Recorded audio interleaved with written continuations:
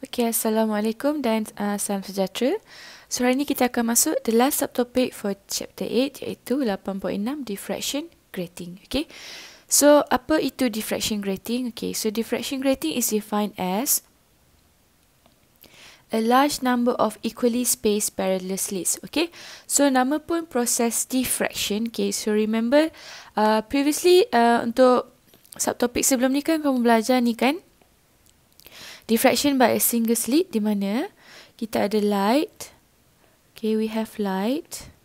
And then light tu akan lalu dekat satu slit ni kan? A single slit. And then uh, dia akan pamerkan kan? Uh, center bright dark fringes. Okay and then uh, bright dark bright dark tu kan? Okay so itulah proses diffraction. Tapi ini adalah diffraction by a single slit. Okay. So diffraction by diffraction grating tu adalah, okay, mesti akan tunjuk eksperimen dia kat kamu sekarang eh. Okay, so this ni adalah eksperimen yang patut kita buat tapi kita boleh buat kan. Okay, so take a look eh. Apparatus that we are going to be using, this is the key element of our experiment today, which is your diffraction grating. Alright, so this is your diffraction grating and we have a, uh, a different amount of gratings according to the I mean, if you look at the diffraction grating, okay, there will be small windows, and then uh, from that windows, as you can see, there's 100 lines, 300 lines, and also 600 lines. So today's experiment, what we are going to be investigating is, we are going to be investigating the wavelength of laser beam, alright, uh, using the diffraction grating. So we're going to get the Okay, so ini adalah eksperimen diffraction grating. So kalau kau nampak benda hitam tu, itu yang kita panggil sebagai diffraction grating.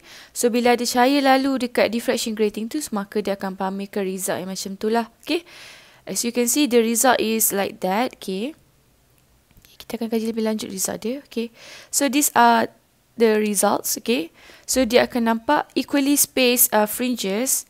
Okay, kita ada central dark, center dark. Okay, di mana dia labelkan sebagai center bright tu n sama dengan kosong, n sama dengan satu, n sama dengan dua. Okay, notice that this subtopic kita hanya akan fokus kepada bright fringes saja. Okay, bright sahaja. Okay, so nak cakapnya diffraction grating tu kalau kamu nampak tadi kan. Okay, kalau single slit dia hanya ada satu bukaan saja. Tapi kalau diffraction grating dia ada banyak slit tau, banyak bukaan. Okay, contohlah. Eh. Contoh kita ada diffraction grating, dia bagi kita uh, N tu adalah uh, number of lines per length. Okay, contohlah number of lines per length tu 100 lines per centimeter. Okay, so kita ada Okay, katalah ni diffraction grating kita tu kan, dia ada banyak sebenarnya. Okay, so katalah satu ni panjang dia 1 cm. Okay, tapi dekat dalam tu dia ada 100 lines. Okay. So cahaya akan, kamu akan pass through the lines and then dia akan pamerkan result yang sebegini rupa lah. Okay. Right. So this one. Okay. Formula yang kamu kena tahu adalah ini saja ya, iaitu D sin theta is equals to N lambda. Okay. So kadang-kadang soalan akan minta uh, tanya. Dia akan tanya kan. Apabila n sama dengan 1, berapakah angle kamu? Okay.